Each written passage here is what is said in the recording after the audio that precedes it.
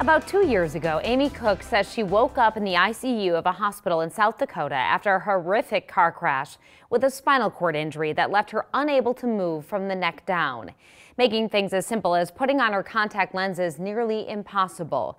But as Lindsay Thies reports, thanks to a group of medical professionals, now she's focusing on her independence. I look forward to, to seeing like my my children see their faces, you know what I mean? Amy Koch is seeing clearly now after receiving free eye surgery. The mother of two has been a quadriplegic since a car crash two years ago. Everything that you take for granted in terms of uh, dressing yourself, um, bathing, um, everything now. That had included help with her eyes. This week, Dr. Lance Kugler performed RLE surgery on Amy with the help of the surgical staff at Miracle Hills Surgery Center in Omaha. Everything was donated, so the procedure was free for Amy, who previously had to wear contacts. Nurses would need to put her contact lenses in because she can't move her arms or legs. This was a real community effort. This whole thing is part of a program called Focus on Independence.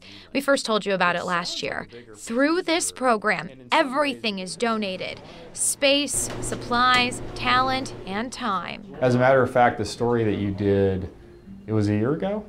A year ago, did lead to some phone calls and some interest from other patients in this community who are interested in the same service, and actually several patients uh, since that story were done have benefited from the program. Pre injury, the thought that I would get something like LASIK, I was I just couldn't even think of it.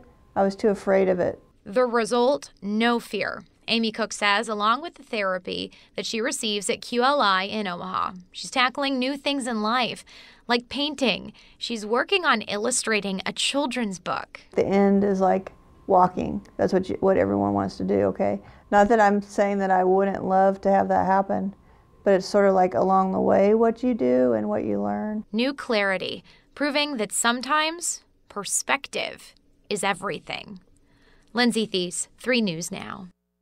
How